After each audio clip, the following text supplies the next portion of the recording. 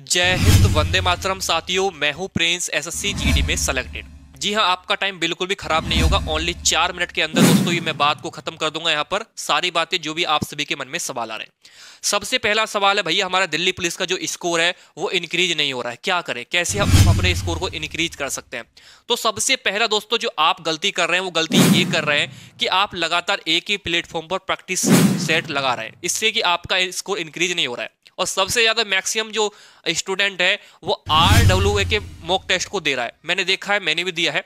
तो R W का जो मॉक टेस्ट है, पहले तो ठीक ठाक आते थे, लेकिन अब उन्होंने इतना टफ बनाना स्टार्ट कर दिया है। मैं तब भी नहीं बोलूँगा थोड़ा सा दोस्तों ये बोलूँगा कि मॉडरेट उन्होंने बना कर, बनाना कर दिया थोड़ा सा एक्स्ट्रा उन्होंने दोस्तों यहाँ पर जो है थोड़ा सा क्वेश्चन को डालना स्टार्ट कर दिया हाई लेवल के।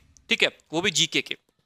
तो आप सभी से एक रिक्वेस्ट ये रहेगी मेरी कि आप वहाँ पर प्रैक्टिस लगा रहे हैं तो कोई टेंशन की बात नहीं है, लेकिन एक बार आप सभी को अदर प्लेटफॉर्म पर भी प्रैक्टिस सेट देने की ज़रूरत है। जी हाँ आपको पीवाई क्यू यानी प्रीवियस ईयर क्वेश्चन लगाने की बिल्कुल आवश्यकता है मेरे भाई, क्योंकि आप वहाँ पर प्रैक्टिस सेट लगा रहे हैं। प्रैक्टिस सेट टफ से टफ बन सकता है, लेकिन आप ये गलती कर रहे हैं कि आप ये समझने की कोशिश नहीं कर रहे हैं कि एग्ज़ाम में किस तरह के क्वेश्चन आते हैं। सबसे पहले आप पीवाई क्यू लगाइए टेक्स्ट बुक पर जाकर, मेरा कोई पास वगैरह नहीं है। ताकि बाद में आप बोले, भैया, आप पास दे रहे हो। जो मर्ज़ी आप कहीं से भी ले सकते हो। टेक्स्ट बुक अपने आप में एक बेस्ट चीज़ है, वो आप सभी लोग बताने की ज़रूरत भी नहीं है, ठीक है? तो वहाँ जाइए पीवाई क्यू लगाइए आराम से और दोस्तों, अपना जो है वहाँ पर एक बार स्कोर चेक कीजिए कि हाँ मेरा पीवाई क्यू में कितना स्कोर आ रहा है और वहाँ प्रैक्टिस हेड में कितना आ रहा है। डिफरेंट तरीका होता है दोनों में, क्योंकि वहाँ बच्चा डिमोटिवेट होएगा भाई आरडोलो के मॉक टेस्ट में। मैं पहले बता रहा हूँ, ये अंकित वाड़ी सर भी बोल चुके हैं कि हम टेस्ट को जितना ज़्यादा से ज़्यादा कठिन बन सकता है, इतना बनाने की कोशिश कर रहे हैं।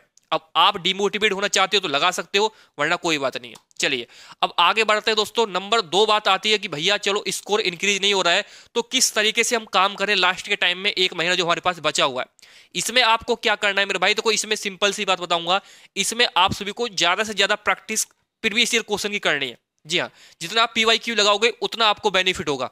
मैंने आपको कई बार बुक बता बता दिया हूँ मैंने कि ये बुक आप ले सकते हो। मेरे भाई, मैंने खुद इस बुक को पढ़ रहा हूँ। काफ़ी टाइम हो गया इस बुक को पढ़ते पढ़ते और मेरा स्कोर भी इंक्रीज हुआ है। पहले मेरा कंप्यूटर में दोस्तों, पाँच, चार, पाँच स्कोर आता था, लेकिन इसको लगाने के बाद सात, आठ तक पहुँच जाता है, आठ, साढ़े आठ भी पहुँच जाता है। नौ क्वेश्चन भी ठीक ही है। और जीके, जीएस का भी दोस्तों सही है, क्योंकि ज़्यादा से ज़्यादा दोस्तों आपको प्रीवियस क्वेश्चन देखने को मिलेंगे। भाई, कंप्यूटर एक बहुत बड़ा पोर्सन नहीं है।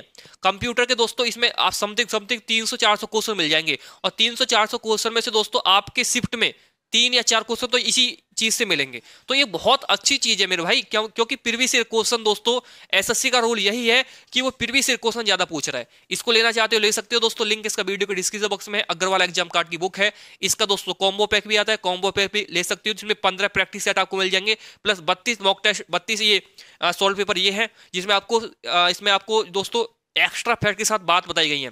और इसमें दोस्तों सब चीज़ है, मैथ है, रीजनिंग है, जीके, जीएस है जीके, जीएस है और कंप्यूटर है, ठीक है? और दोस्तों टॉपिक वाइज दिया हुआ है, जैसे मैंने आपको बताया प्राचीन भारत का इतिहास है तो सिंधु घाटी सभ्यता, इतिहास जानने के स्रोत, ठीक है? ये सारी चीज़, वैदिक सभ्यता, यानी टॉपिक वाइज सिंधु घाटी सभ्यता से कितने क्वेश्चन एस एस में आए। उसके बाद दोस्तों जैसे समय time and work time and work के टोटल दोस्तों, दिखाई दे रहा है ना? टाइम एंड वर्क से टोटल हर कितने प्रकार क्वेश्चन बन सकते हैं, ठीक है? ये सारे देखिए दोस्तों टाइम टाइम एंड वर्क से टोटल इसमें जो क्वेश्चन बने हैं वो बने इसमें इसमें बने हैं दोस्तों, चौबीस क्वेश्चन बने हैं।